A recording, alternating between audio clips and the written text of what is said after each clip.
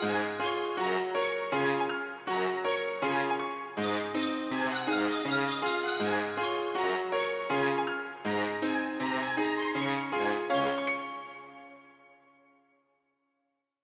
my book loving friends and welcome back to Storytime with Mary. This is where we get to read all of our favourite books and if you're still loving reading along with Mary don't forget to hit the like button and also subscribe to our videos so that we can read together all the time. Okay, book lovers, I've got a bit of a chilly tale for you today. Today, we're going to be reading a book called the Naughty Penguin. This book is written by Amma Lee. So if you've got the Naughty Penguin at home, grab it now and let's read it together. And in this book, the Naughty Penguin befriends a polar bear.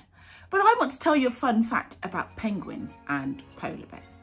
So book lovers, did you know that in real life, in the wild, you will never see a penguin and a polar bear together, really.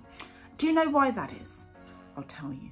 That's because polar bears live all the way in the northern hemisphere, in the Arctic, and penguins are only really found in the southern hemisphere. They can be found in quite a few places. So they can be found in the Antarctic, which is opposite to the Arctic, isn't it? So that's all the way at the bottom. The Arctic is all the way at the top. But they can also be found in other places like the Galapagos Islands and lots of other places, but only in the southern hemisphere. And that's why you will never see a polar bear and a penguin together in the wild. But they're best of friends in our book. Shall we get cracking and see what they get up to in The Naughty Penguin? One morning, a mother penguin and her seven little penguins were walking near the North Pole. They were walking near the North Pole. They were going to visit their grandmother on the other side of the glacier. The mother said, stay in line so you don't get lost. The last little penguin was named Paul. He saw a polar bear. Paul wanted to get closer to the polar bear and have some fun. Oh, naughty Paul. He left the penguins and poked the polar bear's nose with the tip of his wing. Suddenly, the polar bear sneezed. Achoo! He woke up and was not happy. He knew that the little penguin had poked him with the tip of his wing. The bear started to chase Paul, but Paul was too fast. He escaped. Paul kept running and then he stopped. He saw a group of snow bunnies playing in the snow.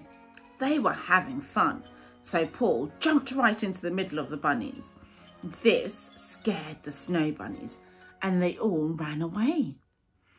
Now Paul saw his mother and his six brothers and sisters in the distance. He started to go towards them as they walked across the glacier, but suddenly he fell into a crack in the glacier. Help! Help! cried Paul. Just then, the mother penguin stopped. She looked back at her little penguins and counted.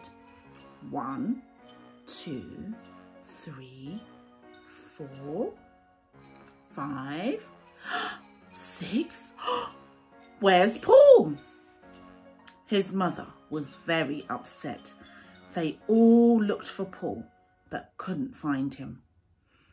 They were still looking for Paul when the polar bear and one of the snow bunnies walked by.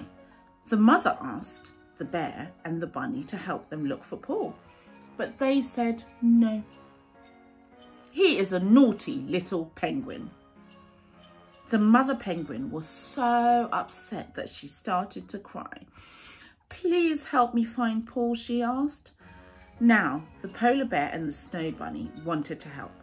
They saw how much the mother loved her last little penguin. Now everyone was looking for Paul. The snow bunny heard a cry. I found him, shouted the bunny. The bunny asked the polar bear to help. They pulled Paul from the crack in the glacier. He was safe. The mother told Paul that he must learn to be a good penguin and not hurt anyone. You must apologise to the bear and the bunny, she said. I'm sorry, said Paul.